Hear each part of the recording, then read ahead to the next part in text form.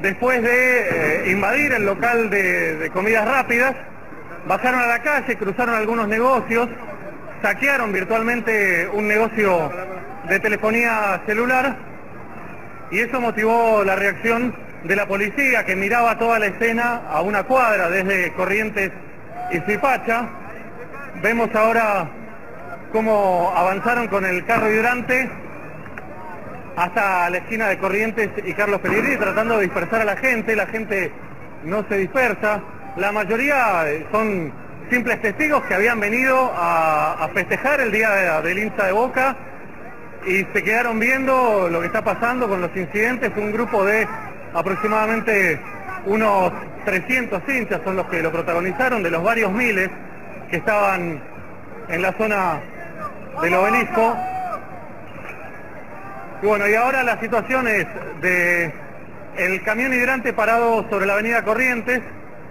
los policías de la infantería formándose en fila al lado del camión hidrante y un grupo de hinchas que sigue haciéndole frente, tirándole eh, piedras, muchísimas botellas. Eh, la avenida 9 de Julio está completamente tapada de vidrios de botellas rotos y ahora eh, se ve también como un grupo sobre la calle Carlos Pellegrini, mientras la policía tira agua con el camión hidrante, otro grupo trata de forzar las, las persianas de comercios sobre la calle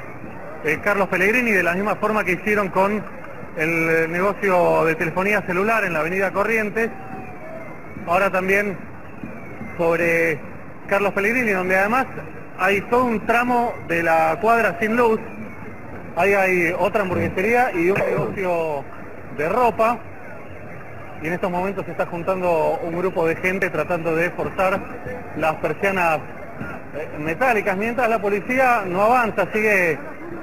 sigue en la misma posición que había quedado en un principio y los hinchas los desafían, tirándole todo tipo de objetos contundentes como piedras, sobre todo, y también botellas. Bueno, ahora vemos que los hinchas lograron forzar eh, la persiana metálica de un negocio de comidas sobre Carlos Pellegrini frente al obelisco. Eso hace que eh, un grupo más grande empiece a acercarse al lugar, mientras tanto a unos 20 metros el camión hidrante de la policía responde tirando chorros de agua,